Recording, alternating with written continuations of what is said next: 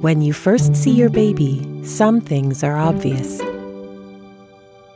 You can tell just by looking at them. But some things aren't so easy to see. In a few rare cases, some babies may look healthy, but they are at risk of having serious health problems if they have a disease that is not detected and treated early. These diseases affect about 225 out of the 143,000 babies born in Ontario each year. They include metabolic diseases, where the body is unable to break down certain substances in foods like fats, proteins, or sugars. Endocrine diseases, where the body produces too much or too little of certain hormones sickle cell disease, which affects the shape of red blood cells and the movement of oxygen within the body.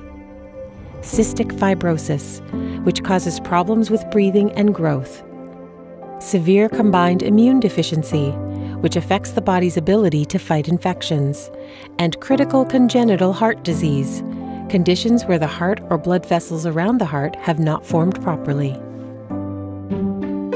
The good news is that many of these problems can be prevented if a baby with one of these diseases is identified and treated early. That's why newborn screening is so important for all babies born in Ontario. We screen for these diseases with a simple blood test, which is usually done when your baby is between one to two days old. The screening test is done with a small prick on your baby's heel a blood sample is collected on a special paper card and then sent to Newborn Screening Ontario for testing. The results are sent to the hospital or to the healthcare provider who ordered the test. For critical congenital heart disease screening, a quick and painless test measures the amount of oxygen in your baby's blood. Results are available right away. More than 99% of babies will receive a screen negative result. This means it is very unlikely that your baby has one of the rare diseases for which they were screened. Some babies will have a screen positive result. This does not mean that your baby has a disease.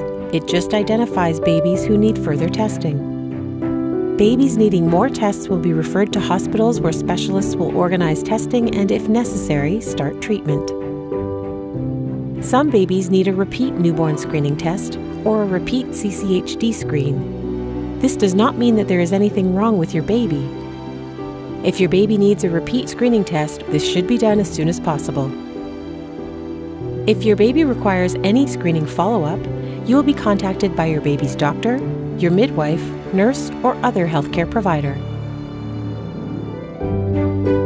Newborn screening. A healthy start leads to a healthier life.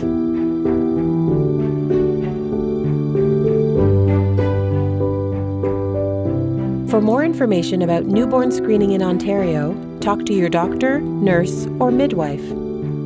Call Newborn Screening Ontario, visit the website, watch us on YouTube, or follow us on Twitter